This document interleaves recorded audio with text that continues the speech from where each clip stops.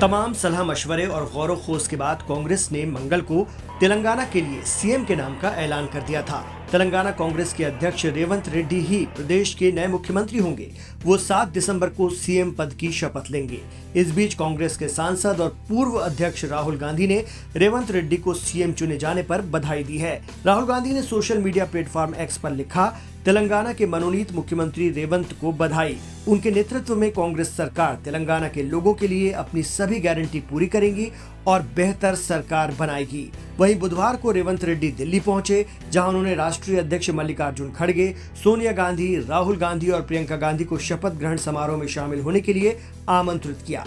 बताया जा रहा है कि सोनिया गांधी भी शपथ ग्रहण समारोह में शामिल होने के लिए तेलंगाना की राजधानी हैदराबाद जा सकती हैं। वहीं तेलंगाना की मुख्य सचिव ए शांति कुमारी ने अधिकारियों को 7 दिसंबर को एलबी स्टेडियम में होने वाले रेवंत रेड्डी के शपथ ग्रहण समारोह के लिए सभी व्यवस्था करने के निर्देश दिए हैं मुख्य सचिव ने अधिकारियों के साथ बैठक कर मुख्यमंत्री और मंत्रिपरिषद के शपथ ग्रहण समारोह के संबंध में तैयारियों की समीक्षा की इस दौरान पुलिस विभाग को यातायात, पार्किंग और सुरक्षा के पुख्ता इंतज़ाम करने के निर्देश दिए गए हैं। तेलंगाना कांग्रेस के अध्यक्ष रेवंत रेड्डी ने 3 दिसंबर को ही राजभवन जाकर सरकार बनाने का दावा पेश कर दिया था।